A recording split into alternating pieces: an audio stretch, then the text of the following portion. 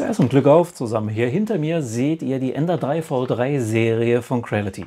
Beginnend mit dem Einstiegsmodell, dem SE, dem KE und dem ganz neuen, dem Ender 3 V3 auf Core XZ Basis, dafür ohne zusätzliche Buchstaben.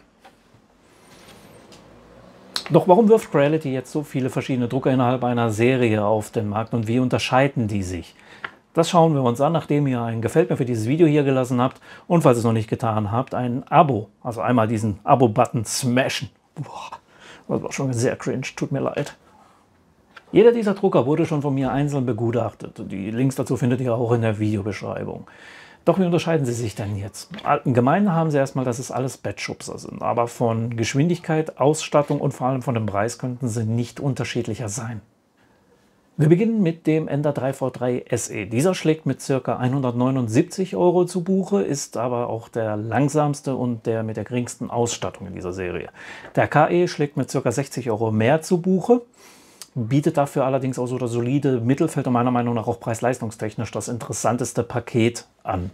Der Ender 3 V3 ohne Zusatz, muss ich aber noch einmal ganz kurz gucken, schlägt mit ca. 359 Euro zu Buche bietet aber dafür in der Serie natürlich auch das größte Rundumpaket an.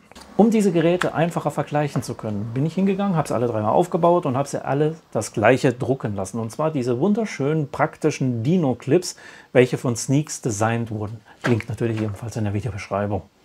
Alle Drucker haben mit dem jeweiligen Standardprofil im Creality Slicer 5, also dem neuen, gedruckt mit dem Profil für Hyper PLA von Creality. Zum Einsatz kam Sunlu PLA Plus allerdings in verschiedenen Farben. Alle Dino-Clips wurden mit drei Wänden und 15% Infill gedruckt, dass die auch so ein kleines bisschen was aushalten. Der Druck wurde bei allen drei Geräten ohne Kalibrierung und im kalten Zustand gestartet. Beim SE dauerte der Druck dieses Dino-Clips ca. 73 Minuten. Der KE brauchte ca. 57 Minuten 30 und der Ender 3V3 auf Core XZ Basis nochmal 41 Minuten. Der K1C zum Vergleich braucht ca. 34 Minuten dafür. Hier sehen wir schon mal ordentliche Unterschiede, was die Geschwindigkeit angeht. Klar kann man von den Profilen her bestimmt noch mal das ein oder andere rauskitzeln, natürlich auch zu Lasten der Qualität, aber so als guter, solider Start zum Vergleich finde ich, ist das schon mal in Ordnung.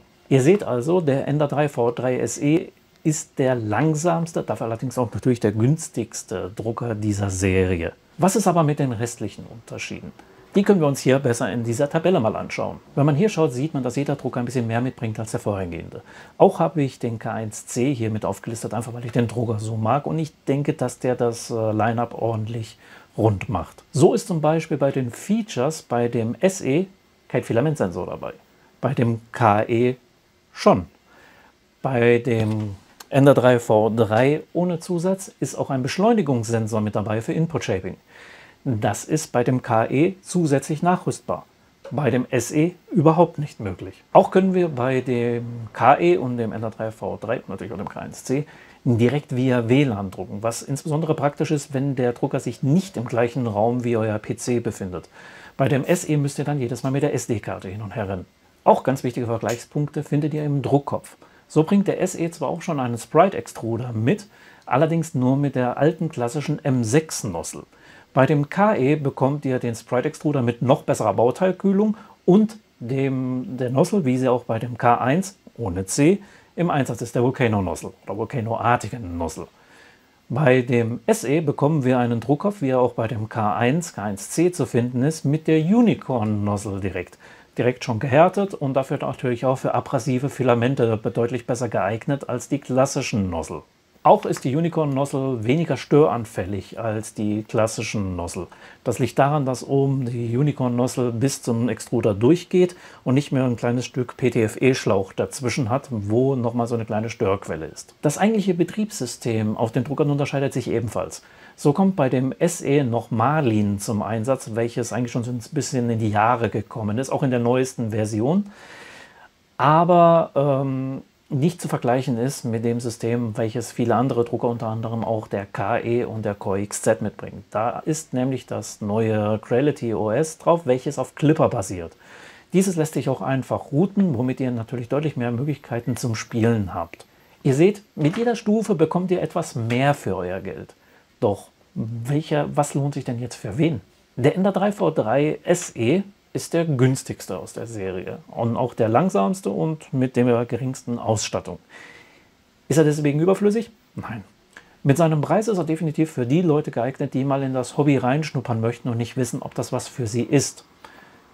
Der KE mit 60 Euro mehr bietet meiner Meinung nach allerdings auch schon so den Sweet Spot, was Preis-Leistung angeht. Er ist deutlich zügiger als der SE, bringt äh, einen Filamentsensor mit, er bringt das Clipper mit und die mögliche Erweiterung des Input-Shapings mit dem Bewegungssensor. Also wenn die 60 Euro nicht wehtun, solltet ihr die für den KE schon ausgeben. Beim Ender 3 V3 Core XZ Variante verhält sich das nicht ganz so. Hier gebt ihr zwar 120 Euro mehr aus, bekommt aber nicht so viel mehr als äh, beim KE. Ja, er ist Core XZ, er ist nochmal einen Tacken schneller. Hui, ich persönlich denke nicht, dass der Unterschied jetzt immens den Preis rechtfertigt. Die Unicorn Nozzle finde ich geil. Ich, ich mag das Ding wirklich sehr. Aber ähm, nur, dass es eine gehärtete Nozzle ist, das kann man auch bei den beiden anderen nachkaufen. Also da eine gehärtete Nozzle einzusetzen, ist jetzt auch nicht der Dealbreaker. Wenn das Geld ein bisschen lockerer sitzt, solltet ihr überlegen, zu dem K1C zu gehen. Hier bekommen wir ein deutlich runderes Paket mit deutlich mehr Leistung auf Core XY-Basis, welches eingehaust ist und zum Beispiel auch die Kamera drin hat. Durch die Einhausung habt ihr auch die Möglichkeit, mit Materialien wie ABS und ASA deutlich weniger Probleme drucken zu können, wie es bei Geräten ohne Einhausung ist. Wer es schon mal versucht hat, kann ja seine Erfahrungen mal in den Kommentaren teilen, wie das denn ist so ohne Gehäuse. Auch ist der K1C bei größeren Drucken, insbesondere bei höheren Drucken, äh, mit einer besseren Qualität und schneller unterwegs als die drei Bettschubser, da sich das Bett bei ihm nicht vor und zurück bewegen müssen, sondern einfach nur nach unten geht. Das heißt, desto größer der Druck, desto eher bringt der auch nochmal Vorteile mit. So, ich denke, damit habe ich ein wenig Licht ins Dunkel gebracht. Solltet ihr doch noch Fragen haben, schreibt sie einfach in den Kommentaren. Mal gucken, was da draus wird. Ich bin jetzt in dem Sinne mal raus. Euer Jan.